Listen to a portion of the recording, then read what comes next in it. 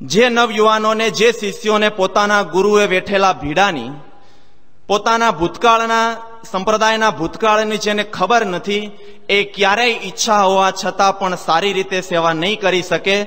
એટલે આજે આપણે જે વાત કરવી છે, વર્તમાનની વાતો નથી કરવી, કે ભવિષ્યની વાતો પણ નથી કરવી, પરંતુ ભૂતકાળની વાતો કરવી છે. આજે આપણે બીએપીએસ સંસ્થા જે ફૂલી ફાલી છે, જે વટવૃક્ષ બનીને એના ફળ લટકી રહેલા છે ફળ ફૂલની વાતો નથી કરવી, પરંતુ એના મૂળિયાની વાતો કરવી છે. ઓગણીસ ચાર બે, ઓગણીસો ને પાંચની સાલ હતી અને ચૈત્રી પૂનમનો સમયો નજીક આવતો હતો. એ વખતે આ બગાવતને સામેથી ઊભી કરવા માટે એક સુરવીર એમના હરિભગત ગલભાઈને શાસ્ત્રીજી મહારાજે કહ્યું કે, ગલભાઈ, વરતાલની સભાની અંદર પૂનમની જાહેર સભામાં અક્ષર પુરુષોત્તમની જય બોલાવવાની હિંમત છે અને સુરવીર અને આજ્ઞા માટે ખપી જવાની મરજીવાળા ગલભાએ કહ્યું કે, સ્વામી, તમારી મરજી હોય તો અંતરની અંદર ઘણી હિંમત છે. મહારાજ તમને વશ છે. કોઈની તાકાત નથી. મારો વાળ વાંકો કરી શકે. બોલો, શું છે? શાસ્ત્રીજી મહારાજ કે તો બોલાવો વરતાલની સભામાં અક્ષર પુરુષોત્તમની જય. હવે આ જય બોલાવીએ કોઈ કેવું સહેલું છે, પણ ત્યારે બોલાવ્યા પછીનું પરિણામ શું આવશે એ એમને ખબર હતી.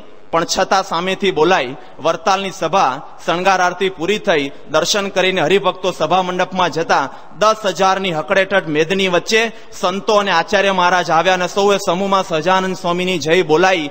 એ જયના પડઘમ હજી તો નીચે સમે ન સમે, ત્યાં તો સિંહ ગર્જના ગલભાઈએ કરી અક્ષર પુરુષોત્તમની જય.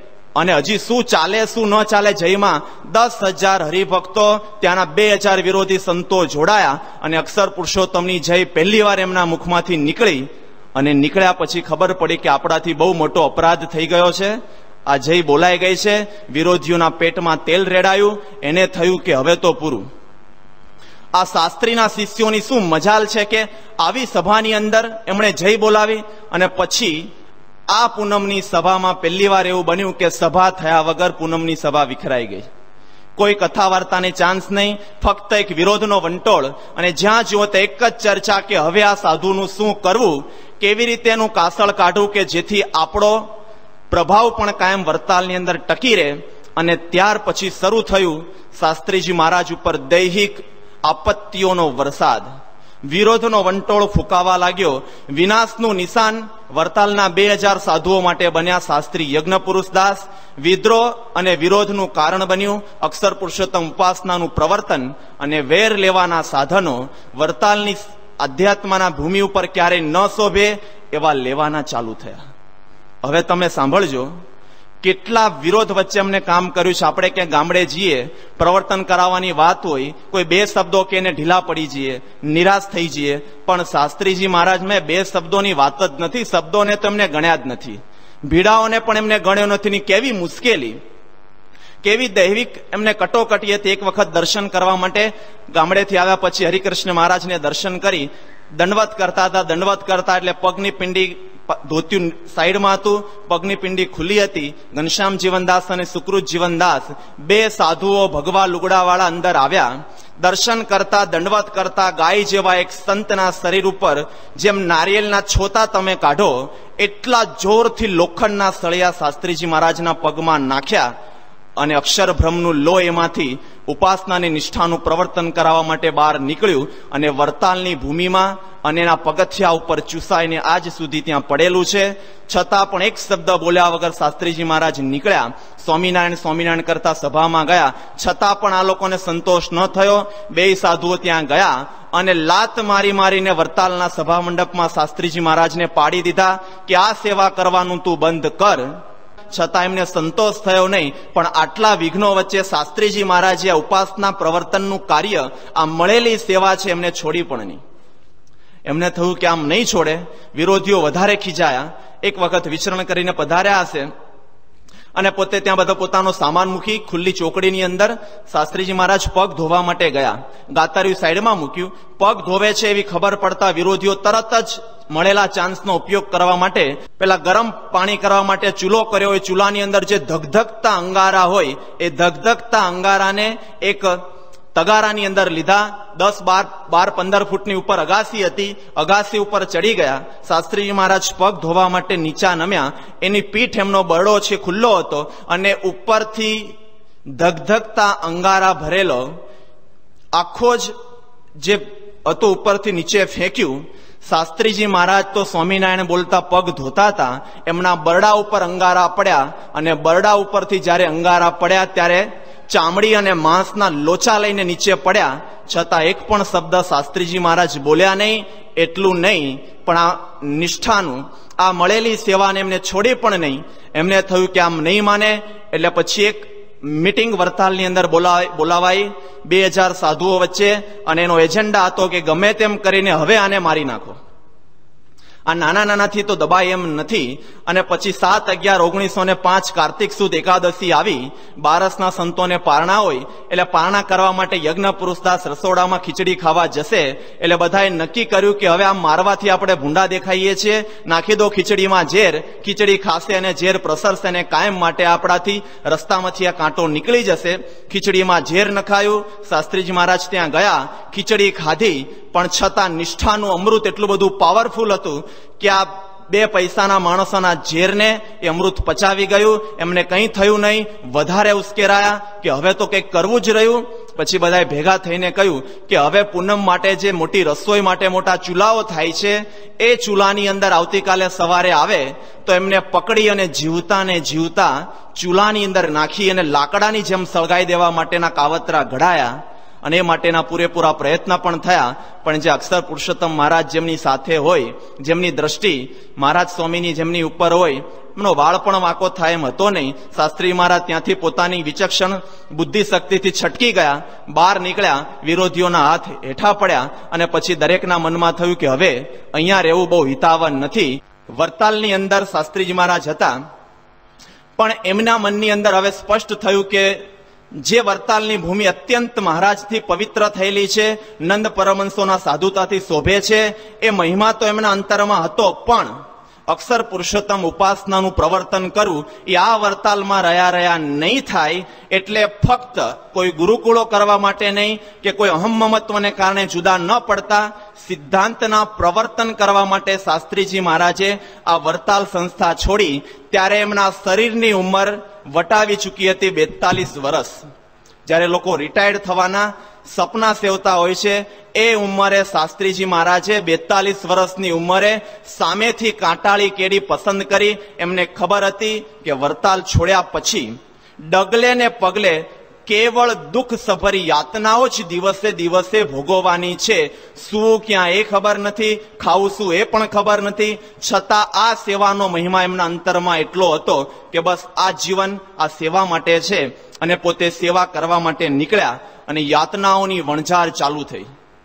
આપણને બધાને ખ્યાલ છે, એ વખતે નાણાં નહોતા, માણા નહોતા, પાણા નહોતા, દાણા નહોતા ફક્ત શાસ્ત્રીજી મહારાજ પાસે હતું. અક્ષર પુરુષોત્તમની સેવાના પ્રવર્તન કરવા માટે કુરબાન થઈ જવાના હિમાલય જેવા ઉત્તુંગ સંકલ્પો એમની પાસે પડ્યા હતા અને સંકલ્પો લઈ એમને ચાલુ કર્યું. દરેક ભીડા સાથે આવું કામ કરવાનું પૈસા જોઈએ. નાણાં તો સેજ પણ નહીં. અમદાવાદના એક હરિભગત છે. એ પોતે લખે છે, ચંપકભાઈ, એ કે છે કે શાસ્ત્રીજી સંસ્થા પાસે કેવું હતું કે જ્યારે બાર આના સિલકની અંદર હોય બાર આના સિલકમાં હોય, ત્યારે બસો રૂપિયાનું દેવું હોય અને બારસો રૂપિયાનું કામ ચાલુ કર્યું હોય, આવો વ્યવહાર હું છેલ્લા ઘણા બધા વર્ષોથી જોઉં છું. વિચારો જ્યાં બાર આના સિલકમાં એટલે કેટલા પૈસા થયા. અને એ વખતે ગોંડલના મહારાજાએ કહ્યું કે દસ લાખ રૂપિયાનું મંદિર ત્રણ વર્ષમાં પૂરું કરો, તો જમીન આપું. શાસ્ત્રીજી મહારાજ કે આપી દો કરી નાખશું. અને બાર આના સિલકમાં અને આટલું દેવા વચ્ચે કામ ઉપાડ્યા, ત્રણ વર્ષની બદલે ગોંડલના મહારાજાને હાથ પકડીને લાવ્યા, અઢી વર્ષની અંદર પ્રતિષ્ઠા કરીને અક્ષર પુરુષોત્તમ ગોંડલમાં પધરાઈ દીધા. આવી હિંમત એમના હૃદયની અંદર હતી અને યોગીજી મહારાજે પછી કટોકટીનો સિલસિલો ચાલુ કર્યો પત્ર દ્વારા. લિખિતન યજ્ઞ પુરુષદાસ જેમણે વાંચ્યું હશે એમને ખ્યાલ હશે અને ન વાંચ્યું હોય તો એ વાંચી એક વખત વાંચી લેવાનું. પણ એટલી તૈયારી જો હોય કે વાંચ્યા પછી આંખમાંથી આંસુઓને નીચે સુધી પડવા દેવા હોય, તો જ આ ગ્રંથ છે વાંચવા માટે તૈયાર થજો. કારણ કે ગમે તેવા જળ અહીંયાને પણ વલોવી નાખે, એવી એક ઐતિહાસિક ઐતિહાસિક દાસ્તાનો અંદર ધરવાયેલી પડી છે. યોગી બાપાએ પત્રનો સિલસિલો, આખો પત્ર તો અત્યારે આપણે ટાઈમના ભાવે વાંચતા નથી. ફક્ત એના ટાઇટલ પેજ ઉપર આપણે નજર કરીએ છીએ. મુખ્ય ફ્રન્ટ પેજ ઉપર યોગીજી મહારાજ કેવા શબ્દો લખતા. યોગી બાપા કે સિલકમાં તો સ્વામી પોતે છે. અમાસના નગારા, કારણ કે અમાસે પગાર ચૂકવવાનો હોય, એટલે અમાસના નગારા વેપારી જીવ ખાય છે. એક પાઈ પણ આવતી નથી. પૈસાની તો ચટણી થઈ ગઈ છે. કટોકટીનો મામલો, સંકટ સમયનો વખત, ધર્મ સંકટ આવ્યું છે. ગંભીર મામલો છે. અંદર પછી જુદું હોય, પણ વાંચ્યા પછી ઈચ્છા થાય એટલા માટે ફ્રન્ટ પેજ ઉપર ટાઇટલ પત્રનું આપે આવા બધા કે અમાસના નગારા, કટોકટીનો મામલો એટલે જોઈને જ ખબર પડી જાય, કંઈક તો હશે જ. આવા એક નહીં, સેંકડો પત્રો આની અંદર પડેલા છે. છતાં આટલી આર્થિક કટોકટી, આટલો વિરોધ પણ એમને સેવા અટકાવી નહોતી. અને કદાચ નાણાં ન હોય તો ચાલે, પણ સેવા કરવા માટે, દેહને ટકાવી રાખવા માટે દાણા તો પેટમાં નાખવા જોઈએ. કાર્ય કરવા માટેનું અંદરથી પાવર જનરેટ કરવા કંઈક તો જવું જોઈએ ને. એ પણ નહોતું. છતાં કેવા સંજોગો હતા. ગઈકાલે પૂજ્ય, પરમ પૂજ્ય ડોક્ટર સ્વામી આપણને થોડી વાતો કરેલી કે છાસ લેવાના પૈસા નહીં. તુચ્છ વસ્તુ છે છાસ તો, પણ એ છાસ લેવા માટે કોઈ ગામમાં આપે નહીં. તો છાસ લેવા માટે અગિયાર કિલોમીટર ચાલતા ચાલતા બોટાદ જવાનું ત્યાંથી ખાટી છાસ લઈને આવે ત્યારે ખીચડી અને સૂકા રોટલા જોડે છાસ ખાવાની. આટલી કટોકટી હતી કે મિષ્ટાનની તો વાત જ નહીં, જેમ આપણને ખ્યાલ જ છે, જમ્યા પછી મિષ્ટાન બધું તૈયાર છે, છતાંય ભીડો સાંભળવામાં ભીડો પડે છે. તો એમણે તો આ કશું ખાવાનું નહોતું ને છતાં દાખલો કરવાનો હતો, પણ ક્યારેય શાસ્ત્રીજી મહારાજ અટક્યા નથી. એક વખત શાસ્ત્રીજી મહારાજ ભીખ માગવા માટે આપણે ભિક્ષા નહીં, પણ સાદો શબ્દ, ભીખ માગવા માટે સારંગપુરથી બાર તેર કિલોમીટર દૂર જમરાળા ગયા. જમરાળા ભીખ માગીને થોડો લોટ ભેગો કર્યો હશે. સવારે સ્નાન કરવાનું દસ, સાડા દસે એમને થયું. એટલે પછી પોતે ખાડે જઈ, સંડાસ જઈને સ્નાન કરવા માટે એક જૂના મંદિર ત્યાં છે. વરતાલ તાબાનું એ મંદિરની અંદર ચોકડીમાં, ઉઘાડી ચોકડીમાં ઠંડા પાણીએ સ્નાન કર્યું. ત્રણ ચાર લોટા શરીર ઉપર પડ્યા અડધું શરીર ભીનું અડધું શરીર સુકાયેલું. જૂના મંદિરના ગૃહસ્થ કોઠારી હરિભગતને ખબર પડી કે બંડીઓ આપણા મંદિરમાં આવીને નાય છે એટલે મંદિર બગડશે. એટલે આવ્યો શાસ્ત્રીજી મહારાજ નાતા હતા કે કોને પૂછીને અંદર આયા? એ કે આ તો ખાલી સ્નાન કરવું છે. ઊભા થાવ અત્યારે ને અત્યારે. અમારા મંદિરની અંદર તમારે પગ મૂકવાનો નહીં. અને શાસ્ત્રીજી મહારાજ, અર્ધા ભીના શરીર ને અડધા કોરા શરીરે એ મંદિરની અંદરથી એક કૂતરાની જેમ એમને કાઢી મૂક્યા. એક હરિભગતના ઘેર આપણા હતા એને ત્યાં ગયા, સ્નાન કર્યું, કપડાં બદલ્યા. ત્યારે હરિભગતે કહ્યું કે, સ્વામી, અગિયાર વાગી ચૂક્યા છે. આપ અહીંયા ભોજન કરો અને ભોજન કરી આરામ કરીને ચાર વાગે સારંગપુર પાછા જજો. ત્યારે શાસ્ત્રીજી મહારાજની આંખો થોડી ભીની થઈને શાસ્ત્રીજી મહારાજે કહ્યું કે, અહીં ન રોકાવાય. કે, કેમ સ્વામી? કે, ગાડું હોય તો ગાડું લાય, ચાલતા તો હું ક્યારે પહોંચીશ? પણ કેટલું બધું શું ઉતાવળ છે? ત્યારે શાસ્ત્રીજી મહારાજ જે બોલ્યા, એ સાંભળજો. શાસ્ત્રીજી મહારાજ કે આ ભીખ માગેલો લોટ લઈ, હું જ્યારે સારંગપુર પહોંચીશ, એ લોટમાંથી રોટલા બનશે અને છાસ અને રોટલા મારા સંતો ત્યાર પછી જમશે. જો હું અહીંયા રહીશ તો મારા સંતો ખાશે શું? અને શાસ્ત્રીજી મહારાજને ગાડું જોડી આપ્યું. ગાડું જોડીને સારંગપુર ક્યારે પહોંચ્યા હશે? બાર કિલોમીટર. ક્યારે રસોઈ થઈ હશે? ક્યારે સંતો જમ્યા હશે? આ એક દિવસની વાત નથી. આ વર્ષોનો આવો જ સિલસિલો કાયમ ટકી રહેતો. છતાં ક્યારેય કોઈ સંતોએ, કોઈ હરિભક્તોએ કે શાસ્ત્રીજી મહારાજે સ્વયં લેશ માત્ર કોઈ વિચાર પણ કર્યો નથી તો શું ખાતા હશે? તો અકા ખાચર આપણે હતા. અકા બાપુ સારંગપુરમાં એક વખત એમને કહેલું કે ક્યારેક તો કંઈક તીખું ખાવાની ઈચ્છા થાય કે ન થાય? તો તીખું ખાવું કેવી રીતે ડોક્ટર સ્વામી ગઈકાલ કહ્યું કે નાગજી શેઠ હતા, તેલની શીશી આપી ગયા અને કહ્યું કે તેલ વાપરજો. બીજા દિવસે પોતે પંદરેક દિવસ પછી પાછા આવ્યા છે. સ્વામી, તેલ છે? પૂછવાનું હોય? રોજની સાહીઠ, સિત્તેર માણસની રસોઈ થતી હોય પાંચસો ગ્રામ તેલ પંદર દિવસ સુધી ચાલે? પણ તોય પૂછ્યું એને હિંમત કરી સ્વામી, તેલ છે? યોગી બાપા કે છે ને અંદર પડ્યું હશે? તો જોયું તો બોટલ આખી હતી. સ્વામી કોઈ બીજું આપી ગયું કે ના? તો કેમ કે બોટલ આખી છે યોગી બાપા હસવા મળ્યા યોગી બાપા કે, ગુરુ, તેલ તો આપી ગયા, પણ શાક વગર વઘાર શેનો કરવો? વઘાર કરવા માટે શાક મળતા નતા, તો શું ખાતા? અકા બાપુ કેતા ક્યારેક તીખું ખાવાની ઈચ્છા થાય, તો કેરોસીનના ડબ્બાને ચૂલા ઉપર મૂકી, એની અંદર પાણીનો વઘાર કરી, મરચું, મીઠું, હળદર જે મળે એ નાખ્યું, એને થોડો તાપને લીધે બળ્યો, અને બળેલો અવાજ અવેજ જે હોય, એની અંદર પેલા નદીના, પેલા નાના નાના પથ્થર આવે છે. એ પથ્થર નાખે, કારણ કે શાક નહોતું, એ પથ્થરનો વઘાર કરે. પછી વઘારેલા પથ્થરને રોટલા ઉપર લઈ, રોટલાનો ટુકડો અને પથ્થરને ચાંટી ચાંટી આ સંસ્થાને ઊંચી લાવેલા છે. આપણને એમ, હમણાં બપોરે જઈશું એટલે બે ત્રણ મિષ્ટાન ને દાળ ભાત બધું તૈયાર છે. પણ શાસ્ત્રીજી મહારાજે સ્વયં યોગીજી મહારાજે સ્વયં જે પથ્થરને આપણે ઘરમાં પણ નથી રહેવા દેતા, એ પથ્થરને એમણે પોતાના મોઢામાં સ્થાન આપી, પોતાના જીભથી મમળાવી, મમળાવીને સંસ્થા ઊભી કરેલી છે, છતાં ક્યારેય સેવા રોકી નથી. આત્મનિવેદન એટલે શું? કે આવા કદાચ ખાવા પીવાની કોઈને મને વિશ્વાસ છે કે અહીં બેઠેલા કોઈને નહીં હોય. છતાં પણ સેવા ન થતી હોય તો એ જ આત્મનિવેદન છે કે મોટા પુરુષ માટે ગમે તેવા વિરોધ, ગમે તેવી તકલીફ આવે છતાં પણ એ સેવાને છોડવી નહીં. છેલ્લા શ્વાસ સુધી એ સેવાને કરવી, એનું નામ કહેવાય આત્મનિવેદન. કદાચ આ સેવા પણ થઈ, પણ ઘણી વખત સેવા કરવાની અંદર આપણને નાનપ મોટપ થતી હોય છે કે આવી નાની સેવા કે આપણે નહીં કરીએ. અને ફટફટ પાંચ, દસ, પંદર હરિભક્તોને બોલાવીને એનું આયોજન કરવામાં આપણે બહુ કુશળ હોઈએ છીએ. પણ એ કરવાની અંદર કેડ નમાવા એના માટે આપણે બહુ હિંમત ભેગી કરવી પડતી હોય છે. પણ આ શાસ્ત્રીજી મહારાજે કેવી કેવી સેવાઓ કરેલી છે. નાનામાં નાની સેવાઓ છતાં મહિમાથી, કારણ કે અક્ષર પુરુષોત્તમની સેવા છે. શાસ્ત્રીજી મહારાજ વખતે આપણી ઘણી બધી જમીન છે, ચરોતરની અંદર હતી અને ત્યાં ખેડા જિલ્લાની અંદર શ્રીજીપુરા કરીને ગામ છે, ત્યાં આપણી ઘણી જમીન હતી. ત્યાં એક વખત શાસ્ત્રીજી મહારાજ ગયા, સોમા ભગતે જમીન સંભાળતા હતા અને રાત્રે અંધકારની અંદર, ત્યાં ખેતરની અંદર પાણી પાતા હતા અને પાણી પાતા પેલો પાળો કરે છે.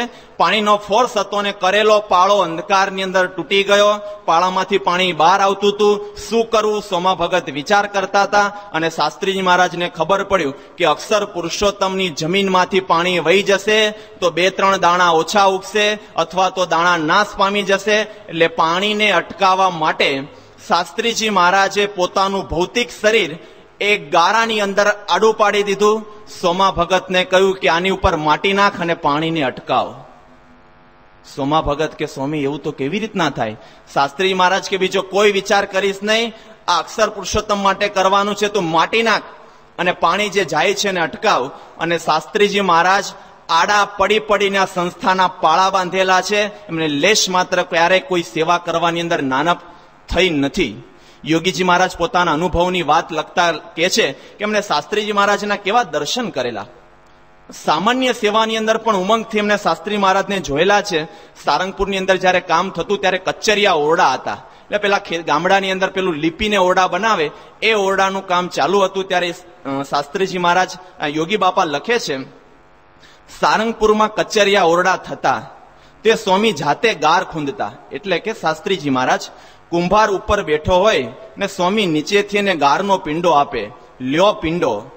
ઓલો કુંભાર થાપતો જાય અને સ્વામી દેતા જાય. ગારાવાળા. કુમણવાળા એમના પગ.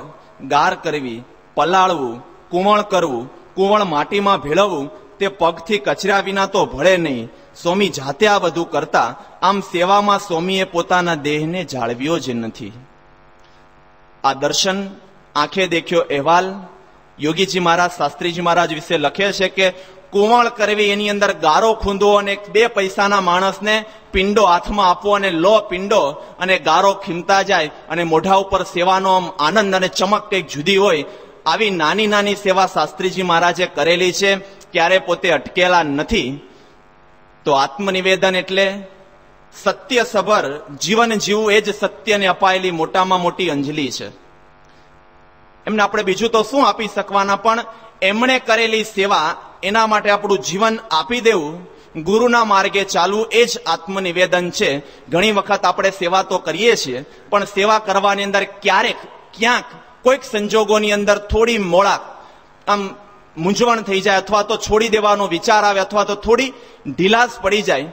પણ જો આ ગુરુના માર્ગે ચાલવું હોય અને સત્યને સાચી અંજલિ આપવી હોય તો છેલ્લા શ્વાસ સુધી સંસ્થા માટે ખૂબ ખૂબ સેવા કરવાની અંતરની અંદર ધગસ.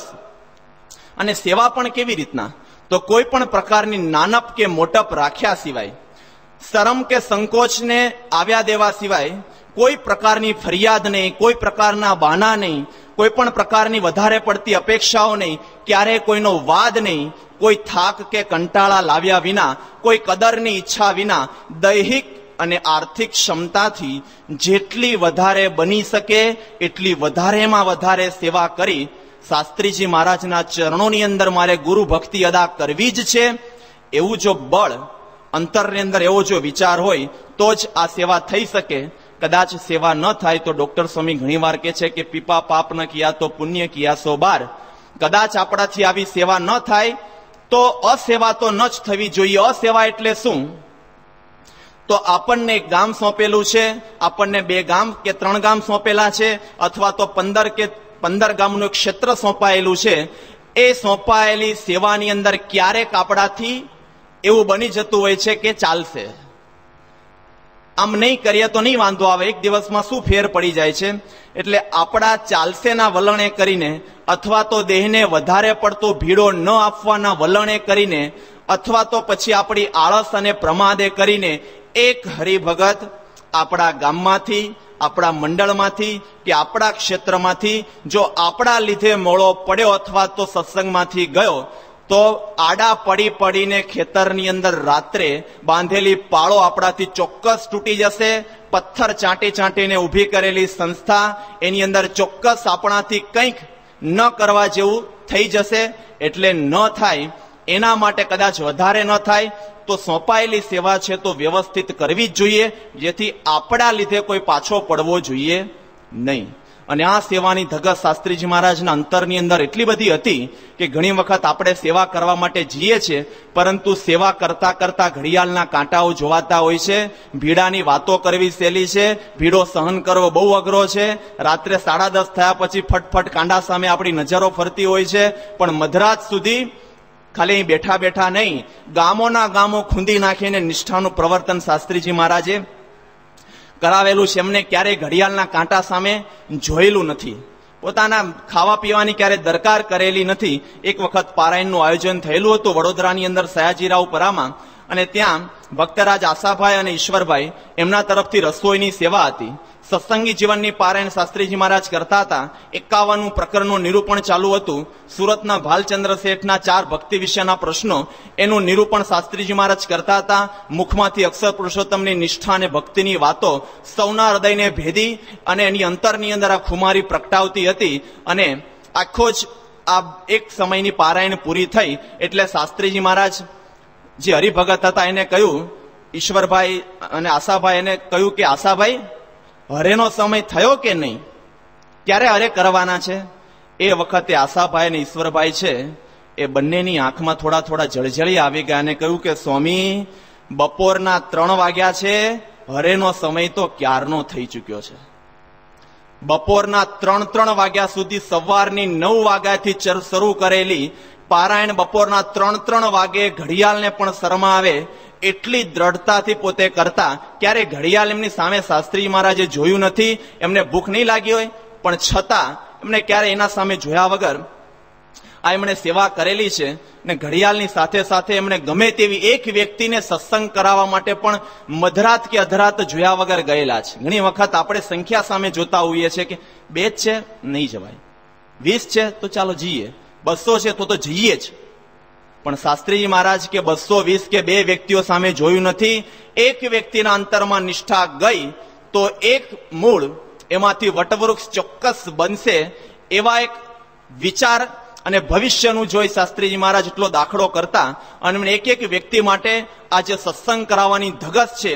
એ ધગસ કેવી હતી? તો ઓગણીસો ને છેતાલીસના સપ્ટેમ્બર મહિનાની અંદર ઝાલાવાડમાં વિચરણ ચાલુ હતું. એ વિચરણ પૂરું કરી અને એક મૂળી ગામની અંદર એક હરિભગત હતા. એ હરિભગતની ઈચ્છા એટલે એમને સત્સંગ કરાવવા માટે શાસ્ત્રીજી મહારાજ, નિર્ગુણ સ્વામી અને સાથે સાથે યોગીજી મહારાજ આ ત્રણેય મહાપુરુષો ત્યાં જવા માટે નીકળ્યા. મૂળીના રેલવે સ્ટેશને પહોંચ્યા. વરસાદનો સમય રાત્રિની અંદર આકાશની અંદર અંધકાર જામી ચૂકેલો હતો અને કોઈ વસ્તુ મળે નહીં. પછી માંડ માંડ એક એકાવાળો, એટલે કે ઘોડાગાડી વાળો મળ્યો. એ ઘોડાગાડી વાળો ત્યાં આવ્યો અને મંદિરની આગળ જોયું તો નદી હતી, ભોગાવો નદી, બંને કાંઠે પૂરપાટ વહેતી હતી. એટલે ઘોડાવાળાએ કહ્યું કે આમાંથી હું નહીં જઈ શકું, એટલે ત્યાં જ ઉતારી દીધા, એટલે પોતપોતાનો સામાન લઈ શાસ્ત્રીજી મહારાજ અને નિર્ગુણ સ્વામી અને યોગીજી મહારાજ પોતે જવા માટે નીકળે છે. એનો આંખે દેખ્યો, અહેવાલ એના સાક્ષી એવા નિર્ગુણ સ્વામી છે. એ પોતે પત્રની અંદર મુંબઈ હર્ષદ કાકાને જણાવે છે. નિર્ગુણ સ્વામી કહે છે કે કેવી પરિસ્થિતિ હતી ત્યારે? શ્રીજી સ્વામી, તારીખ બે દસ છેતાલીસ, એટલે કે શાસ્ત્રીજી મહારાજની ઉંમર એટી ટુ યર્સ, એટલે બ્યાસી વર્ષની ઉંમર છે બ્યાસી વર્ષની ઉંમરે ધગસ હવે સાંભળજો. તારીખ બે દસ ઓગણીસો ને છેતાલીસ. અચારડાના નારાયણધારાનો સમયો કરી મુજીદળ રાત રહી પડવાને દાણે લીમડી આવ્યા. ત્યાંથી વઢવાણ પૂજ્ય શાસ્ત્રીજી મહારાજ ભેગા થયા, તે પાંચમે મૂળી આવેલા.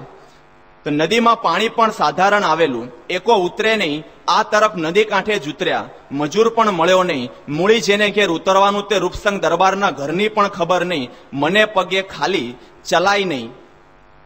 ને પોટલું ગોદડું ગોદડી અને કાગળોનું પોટલું ઊંચકવું પડ્યું. પ્રેમશંકરને માથે પણ પોટલું. ખભે બંડલ અને એક હાથમાં સ્વામીશ્રીના જોડા તથા એક હાથે સ્વામીને ઝાલ્યા. પૂજ્ય યોગીજી મહારાજ, એમના હાથમાં ઠાકોરજીની પોટલી અને બીજો હાથ પૂજ્ય શાસ્ત્રીજી મહારાજનો પકડેલ. ને પૂજ્ય સ્વામીશ્રી દસ ડગલા, એટલે કે શાસ્ત્રીજી મહારાજ, દસ ડગલા પણ ચાલી શકે નહીં ને ભોગાવાનો પટ મોટો, પાણી, અજાણી ધરતી તેમાં ચાલ્યા આગળ હું ચાલ્યો, વચમાં ગબડી પડ્યો, તે મારી ભીની ગોદડી હતી, તે પૂજ્ય સ્વામીજીએ પોતે લીધી, એ વખતનો શું દેખાવ? મનુષ્ય લીલા, કોઈને કળ્યામાં આવે જ નહીં, અને પછી આગળ લખે છે કે એવા ખરાબ રસ્તામાં પડતા, આખડતા, ને સ્વામીને અશક્તિ છે, છતાં એક શબ્દ પણ બોલ્યા નથી. શું સાધુતા, ને શું વૈરાગ્ય? ટાણે ખબર પડે, હે પ્રભુ, આવા પુરુષનો આપણને યોગ થયો છે. બ્યાસી વર્ષે આવા રસ્તાની અંદર શાસ્ત્રીજી મહારાજ અને યોગીજી મહારાજ ચાલ્યા, જ્યાં રાત્રે આઠ વાગે પહોંચવાનું હતું, ત્યાં રાત્રે અગિયાર વાગે પાણી ખૂંદતા ખૂંદતા ઠંડીની અંદર માંડ માંડ કરતા પહોંચ્યા, છતાં એક વ્યક્તિને રાત્રે જઈને સત્સંગ કરાવવાની ધગસ એમના અંતરની અંદર પડેલી હતી. એમનો આવો ઉત્સાહ જોઈને નિર્ગુણ સ્વામી એક પત્રની અંદર પોતે લખે છે કે, સ્વામીને જેવો બીજાને સત્સંગ કરાવવાનો આગ્રહ છે તથા સર્વોપરી નિષ્ઠા સમજવાનો ઈશક છે તેવો બીજા કોઈ આ ભૂમંડળમાં અત્યાર સુધીમાં મારે જોવામાં આવ્યો નથી. નિર્ગુણ સ્વામી સાથે હતા કે ભૂમંડળની અંદર આવો આગ્રહ ક્યારે કોઈને મેં જોયેલો નથી. તો આ પુરુષ, આ ગુરુ આપણને મળેલા છે કે એક એક વ્યક્તિ માટે ક્યારે ઘડિયાળ નથી જોઈ, ક્યારે રાતના અંધારા નથી જોયા, ક્યારે સમય કસમય જોયા વગર સતત નીકળેલા છે. તો કોઈ અંધારાના બાને કે અજાણ્યા રસ્તાના બાંધે કે ઠંડીના કે વરસાદના બાને કદાચ જો આપણે ન જઈ શકતા હોય, તો એટલી ગુરુ નિષ્ઠાની અંદર આપણી ખામી કહેવાય. કદાચ આ સહન થાય, પણ પોતાના શરીર ઉપર જ્યારે રોગની આફત તો તૂટી પડે છે, ત્યારે તો ભલભલા માણસો હલી જાય. શરીર અત્યંત કથળતું હોય, છતાં પણ શાસ્ત્રીજી મહારાજ, એની અંદર પણ પોતે સતત જજુમતા રહ્યા છે, ઉપાસના પ્રવર્તનની સેવા કરતા રહ્યા છે. એમને પોતે પોતાના શરીરનો ચિતાર છે, મુંબઈ લખીને મોકલ્યો છે. તારીખ બે સાત ઓગણીસો ને છેતાલીસ એટલે કે બ્યાસી વર્ષની ઉંમર શાસ્ત્રી મહારાજ લખે છે, હું ઘણો જ દિલગીર છું, કારણ કે હજુ એક પગે તો બાર આની વા છે. પગ મુકાતો નથી. જાજરૂ તથા લઘુને ખાડે ફણાભેર બેસાતું નથી. ખુરશી પ્રથમથી કરી રાખી છે, તેથી કામ લઈએ છીએ. છતાં મંગળવારે મેલમાં નીકળી શાંતિ હશે તો અમદાવાદ ઉતરીશું. આવી તકલીફ છે, છતાં પણ જવાની નિષ્ઠા પ્રવર્તવા માટેની એમની તૈયારી તો છે જ.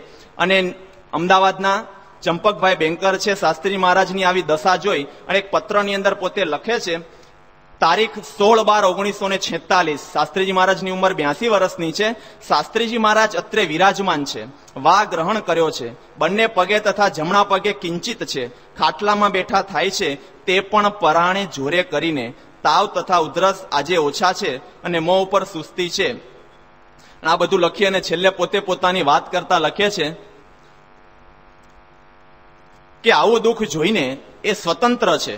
નરનાટ્યની પેઠે લીલા કરે છે તે સમજવા છતાં આવી સમજણ છે છતાં શરીરની તકલીફ આવી છે એટલે હરિભગત ચંપકભાઈ લખે છે કે આવું સમજવા છતાં મારું કાળજું વલોવાઈ જાય છે, રડી પડાય છે, રડી પડાય છે, રાતના અજંપો રહે છે, ગાંડાની પેઠે ભમી જવાય છે.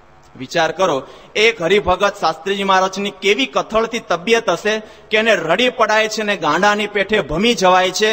આવી પોતાની શારીરિક તકલીફ વચ્ચે પણ સત્સંગ કરાવવાની ધગસ એમની ક્યારેય મોડી પડેલી નથી. અને ક્યાં સુધી તો એક વખત શાસ્ત્રીજી મહારાજ સારંગપુરમાં હતા અને સારંગપુરમાંથી પછી ખાનદેશની અંદર વિચરણ કરવા માટે જવાનું હતું અને પોતે વિચરણ કરવા માટે નીકળવાના હતા.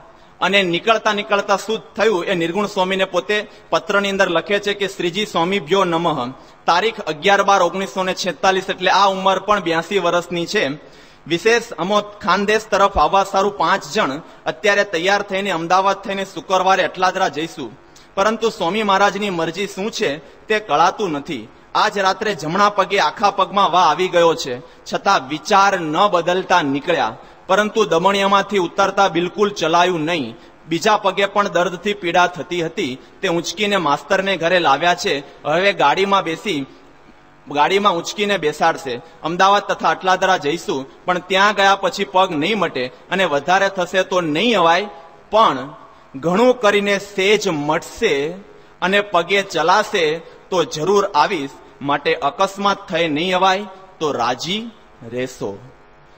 આટલી તકલીફ છે, નીકળ્યા છતાં શાસ્ત્રીજી મહારાજ લખે છે કે વિચાર ન બદલતા નીકળ્યા, સેજ સારું થશે તો જરૂર આવીશું.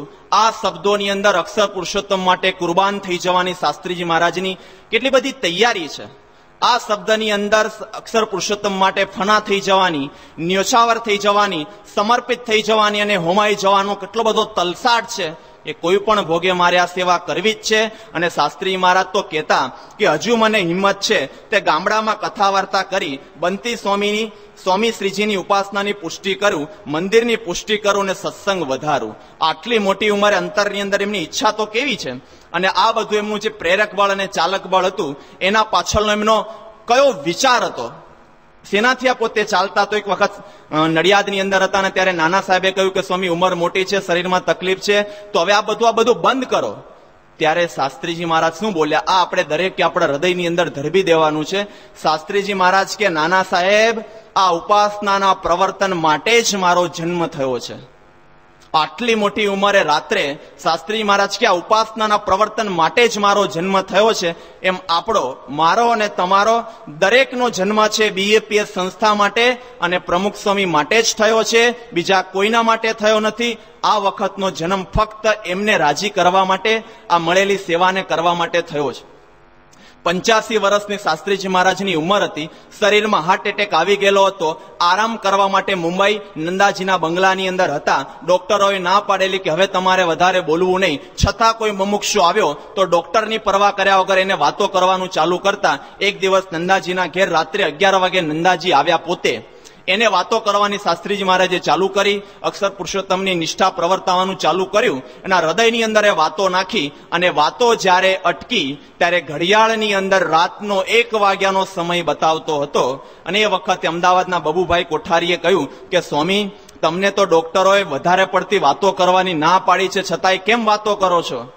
ત્યારે શાસ્ત્રીજી મહારાજ શું બોલ્યા? આ પણ આપણા હૃદયની અંદર શિલાલેખની જેમ લખાઈ જવું જોઈએ.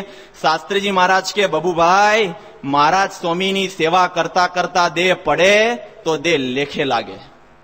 આ સ્પિરિટથી પોતે મણતા એટલે ક્યારે અટકતા નહીં કે કદાચ સેવા કરતા કરતા દેહ પડી જાય. તો દેહ લેખે લાગ્યો ગણાય. એમ આ જીવન મંત્રને પણ આપણા હૃદયની અંદર પ્રત્યેક ધબકારે ધબકવા દેવો જોઈએ. લોહીના કણે કણની અંદર આ દેહે કરતા કદાચ પડે તો દેહ લેખે લાગ્યો કહેવાય. મારો જન્મ સેવા માટે થયેલો છે. એ મંત્ર આપણા હૃદયની અંદર જેટલો દ્રઢ થશે, એટલી જ સેવાની અંદર ક્યારેય આપણી રૂકાવટ આવશે નહીં. અને આ છે, એ શરૂઆત, અંતની શરૂઆત છે. ફક્ત અંત અહીં થવાનો નથી, કારણ કે અંત ત્યાં થવાનો છે. યોગીજી મહારાજે કહેલું કે આવતા પાંચસો વર્ષની અંદર ઘેર ઘેર અક્ષર પુરુષોત્તમનું ભજન થશે.